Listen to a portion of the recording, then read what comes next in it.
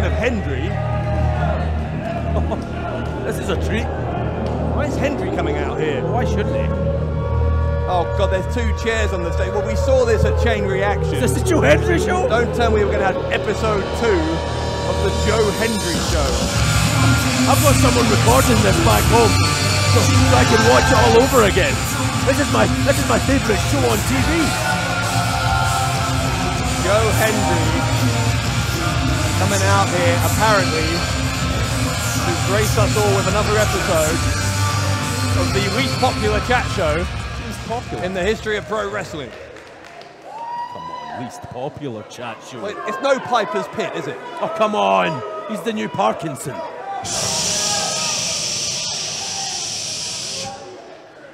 The prestigious one appreciates your worship, but if you could at least just hush up, because it's time for our second attempt at the Joe Hendry Show! Oh, whoopee doo. Show some enthusiasm. It's a big night. The last time we tried this, our general manager had to make it all about him. So I'm going to move on. And instead of having someone like him, I'm going to bring out one of the most respected professional wrestlers in the world today. Let's introduce my guest, Rampage Brown. Wow, Here comes Rampage, that's a hell of a second guess. the, the sole survivor on Team Defiant at Chain Reaction, and now one of the men who's going to contest the Magnificent Seven along with Joe Hendry. Look at the dance moves on Hendry. Look at him. Look at him I go. like the song. It's a good song. It's a good song. Hey, whoa, whoa. It's uh, you just. I got the set. I got a nice set. I got a real comfy chair for you. Real comfy chair. I know what you think this is. It's not. This is. This is the respect. The. Re- the respect I have for you, unbelievable. You're going to see that now. Please, I'm asking you next. I'm just. I'm. Ask, I'll go first. Please, please take a seat. Please take a seat. I. I, I promise. Honestly. No, don't say that. Don't say that. Don't say that. Come on. Now, can I call you Paige? right, all right. Rampage.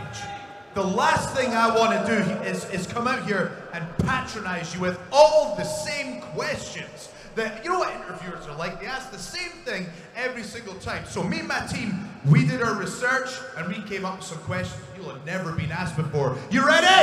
Yeah. Okay, first question. Now, this is, I did my research on this one, but how long have you been a wrestler? It's a good question. What is this?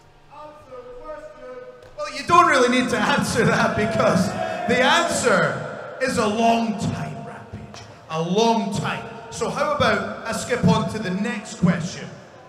Now, that one was okay, okay, well, we'll put that one to the side, but who is your favorite wrestler? I know that's on, It's, tell him. It's Joe Hendry, isn't it?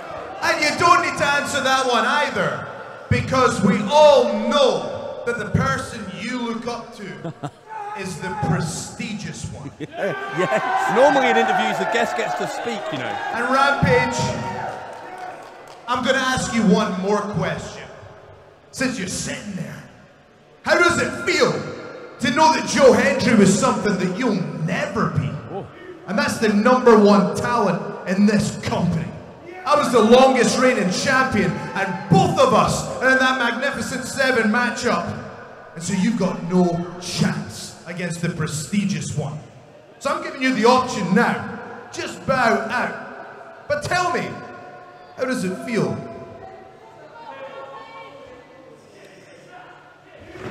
Oh, oh, oh, oh no. Go on. Joe? You talk too much. Oh, come on. You can't put your hands on a host. Remember what happened to Vader in the 90s? Rampage, clearly not a fan of Joe Hendry's interviewing style. Rampage is going to end up under house arrest. I'm calling it right now. He's not leaving the country. Rampage gonna try and hit Hendry with a pile driver. Oh. Pile driver No, time. no. On Hendry. Oh, Oh, oh yes. Ligero. El Ligero come to the aid of his prestige buddy. Is Joe Hendry safe? Definitely not safe at, at lights out. Speaking of lights out, it could be lights out for El Ligero here. Here comes the pile driver from Rampage. Just unnecessary. Wait a minute, here comes, here comes the future Commonwealth champ. Rampage. Yes. Yes. a low blow by Hendry on Rampage. And Hendry's going to scarper here. Hendry jumping over the crowd barrier. Well, he's running away now. There'll be nowhere to run. At lights out. To tap to his own move again. The bell just sounded. Oh, The match is still going. The match is still going. Right into the back of the head of Thurman. Ducky's oh, got the leg. Banks another leg. Oh, God! Banks! Travis Banks is the internet champion. Oh, come on. I knew I needed to wrestle Walter because I know that you know I need to beat Walter.